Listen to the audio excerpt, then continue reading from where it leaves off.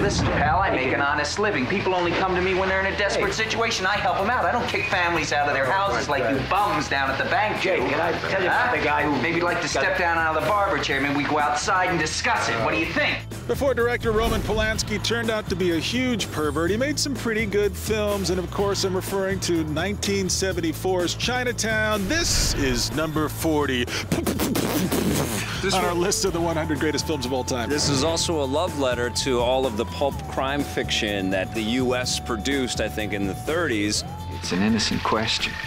No question from you is innocent, Mr. Gittes. It's a bit of an acquired taste. I mean, it's an older film. It's set in the 1930s. But Nicholson is just so damn cool. He's effortlessly cool in this thing as a private investigator who is Plays trying to. Snake Plissken. No, he. He's not Snake Plissken in this one.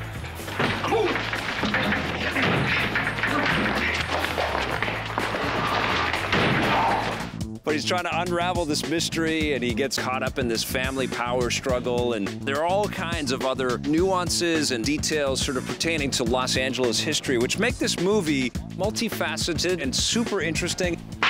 I said I want the truth. This film is not easy to watch. It is a beautiful film, but it goes to some really dark places. It's one of those films that when you walk away from it, you don't feel good Nope. about yourself. You don't feel good about the world. But you cannot help but be impressed with the filmmaking prowess and the incredible performances. Now, wait a minute, Mrs. Mulwray. I think there's been some misunderstanding here. There's no point in getting tough with me. I'm just I don't get tough with anyone, Mr. Gittes.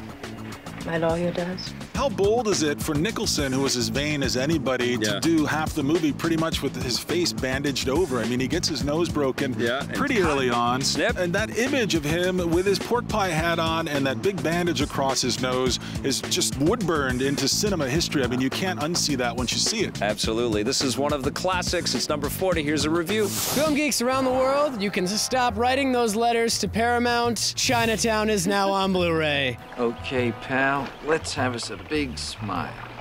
The 1974 masterpiece directed by Roman Polanski, considered the greatest screenplay of all time by Robert, Robert Towne, Towne. featuring an iconic performance by Jack Nicholson. Still as good as it ever was. Miri, how do you feel about Chinatown? Chinatown is one of the best films, I think, in the history of film. I think it's one of the most perfectly written scripts. I mm-hmm. think it's the perfect noir thriller. It's a slow burn. The performances are beautiful. The cinematography is beautiful. It's just a great film. Forget it, Jake. It's Chinatown tone. It's just one of those movies you can watch 127 times and never, get tired of it. It never gets old. I- Always find a new angle, always find a new nuance. There's always something to grab onto in that film and connect with, no matter how many times you've seen it. Oh, it's so true. And I mean, I've seen it 20 times. Yeah. I was so excited to watch it again, especially on this On Blu-ray. Blu-ray, it looks 'cause so it looks good. amazing. Yeah, it yeah. pops on the Blu-ray. Yeah, it looks does. fantastic. They really did a great job of transferring this film and making it a high def masterpiece, really. My God, Walsh, is that what you spent your day doing? The featurettes they have on the Blu-ray are fantastic. Most of them have been on previous releases before, but it's just so much fun to see people like Soderbergh is featured heavily in one Mm-hmm. of the featurettes talking about the effect and legacy of Chinatown. And he says it better than anyone, where Chinatown is such a complicated film, but on this the completely surface level, if you don't understand it at all, it's still enjoyable. So, congratulations, Roman Polanski. You certainly have brought some light into the world. And some darkness. Yep. Number 40. It's Chinatown.